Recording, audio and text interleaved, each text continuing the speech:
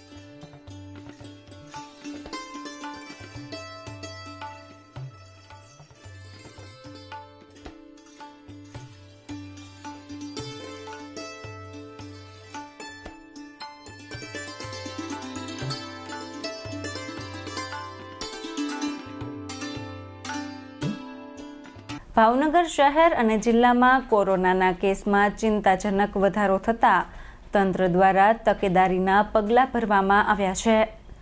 ફેરિયાઓ માટે health card ફરજિયાત કરવામાં આવ્યા બાદ મહાનગરપાલિકાના એસ્ટેટ વિભાગ દ્વારા શહેરના એમજી રોડ પર દર રવિવારે ભરાતી રવિવારી બજાર બંધ કરાવવામાં આવી હતી.